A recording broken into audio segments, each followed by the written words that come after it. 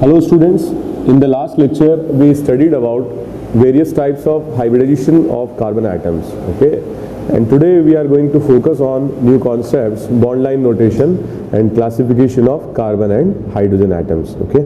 So first of all, what is the molecular formula of a compound? So molecular formula of a compound represents the ratio in which various atoms are present okay? So for example if we talk about glucose then it represents carbon atom hydrogen atom and oxygen atom are present in the ratio 6 ratio 12 ratio 6 and also it represents the actual number of atoms of any element present in the compound.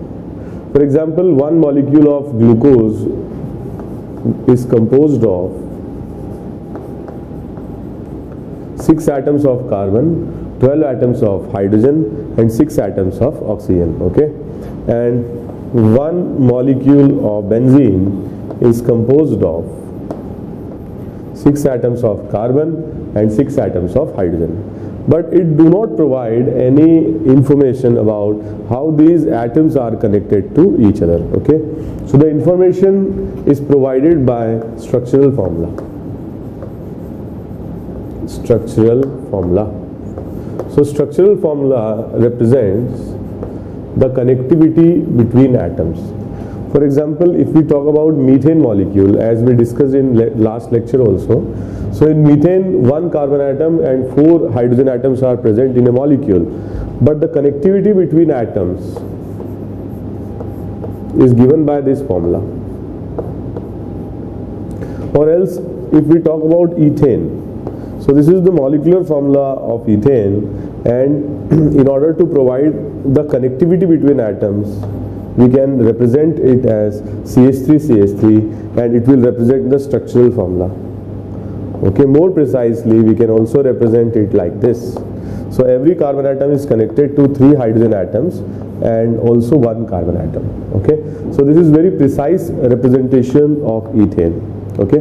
For example if we talk about glucose so for glucose the molecular formula is this C6H12 and O6 but the structural formula which represents the connectivity between atoms will be like this.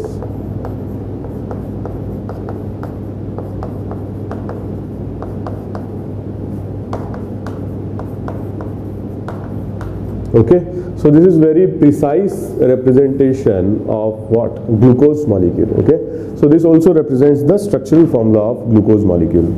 But it becomes inconvenient to represent all the molecules by representing the actual elements and their symbols okay? So it becomes very convenient if we represent all these molecular formulas on the basis of very convenient notation and it is also known as bond line notations bond line notations. So in bond line notations, we don't represent the uh, carbon and hydrogen atoms in the molecule. For example, if I represent a molecule like this. So for most of you, it will be like zigzag lines, but it is not. Actually, every corner of this representation can be replaced as or will denote a carbon atom okay? So there are four carbon atoms because four corners are present in the given molecule and the remaining valencies which are not given in the bond line notation can be completed with hydrogen atoms. For example the carbon is connected to one carbon atom so there are remaining three valencies which can be completed with what? Hydrogen atom for example, in this case, carbon is connected to two carbon atoms and the remaining valencies can be completed with hydrogen atoms. Sim similarly, for this carbon atom, also we can complete the valencies with hydrogen atom and here also we can complete the valencies with hydrogen atom, right? So it will represent CH3, CH2, CH2 and CH3 and that is a butane molecule. More precisely, we can represent the molecule like this.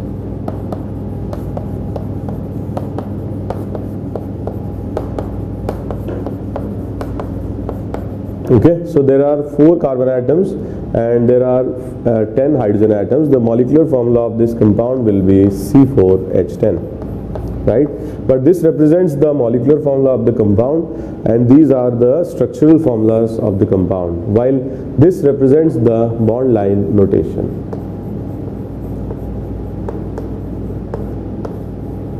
Okay, I think you got an idea about this that bond line notation is the most convenient way to represent organic molecules because we don't need to represent the carbon atoms and hydrogen atoms. Okay.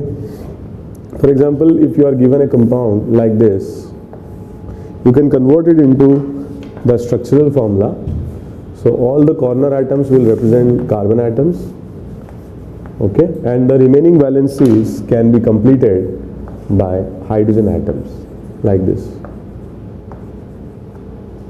okay? And in case if you are given the atoms other than hydrogen they will be represented. Okay? In the bond line notation they will be represented. For example if you are given a compound or a bond line notation like this then you can convert it into structural formula like this. So all these four corners uh, will represent the carbon atoms.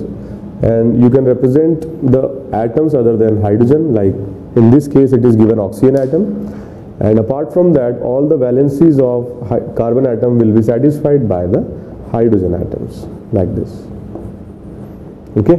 So this will represent a molecule and the bond line notation again I must say it is more convenient way to represent the molecule. So this is the bond line denotation bond line representation. And this will represent the structural formula of the compound. And what should be the molecular formula? So in this particular case, the molecular formula will be C4H, okay, so 5, 6, 7, 8, 9 and 10 and O. And in this case, the molecular formula will be C4H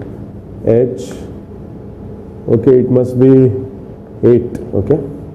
So 3 plus 3 6 okay? 7 and 8 9 okay? So I made a mistake like this okay? So it will be C4 and H8 please copy this.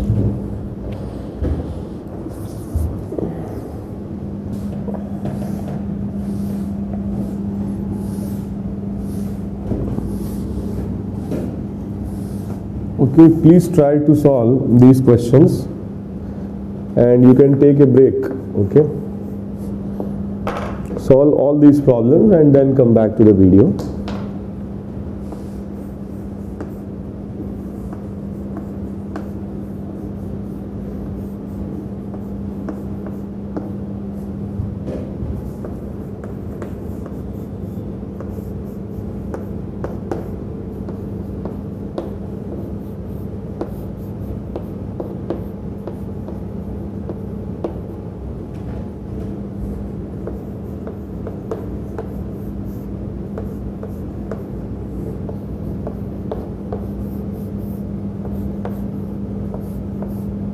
okay so please copy these questions take a break take a breath solve these questions and then come back.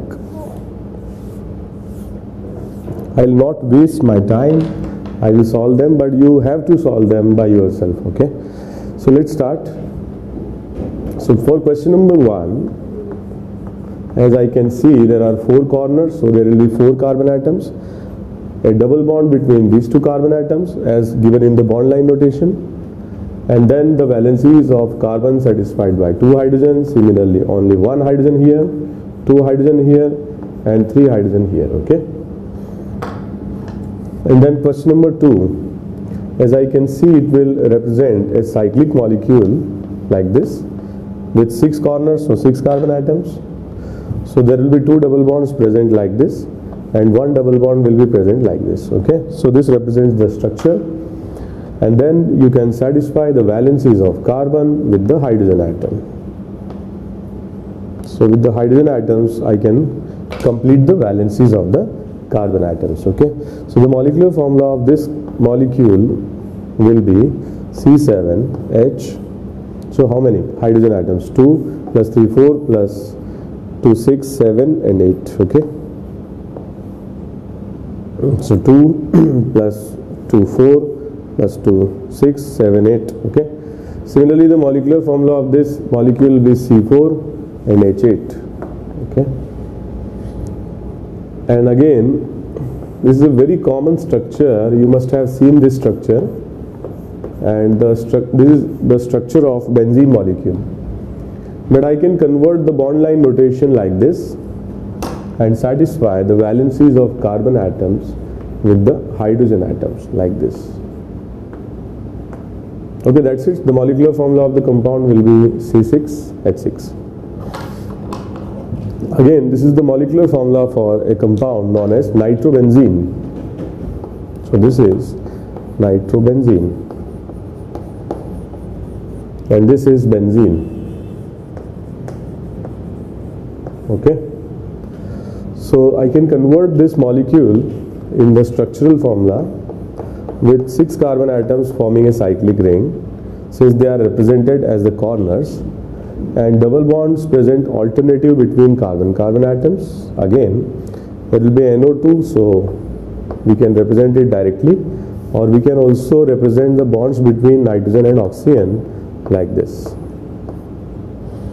and then I can substitute or complete the valencies of carbon atoms with the hydrogen atoms like this. Okay, and then question number five. There are four carbon atoms represented as the corners like this, and double bond between carbon atom like this. So the valencies of carbon atoms, remaining carbon atoms, satisfied by the hydrogen atoms like this: CH3, CH2, and CH3. And the molecular formula will be C4H8O. For this compound, the molecular formula will be C6H5NO2. Okay. For the question number 6, I can convert it into bond line notation. Or this bond line notation can be converted to the structural formula like this.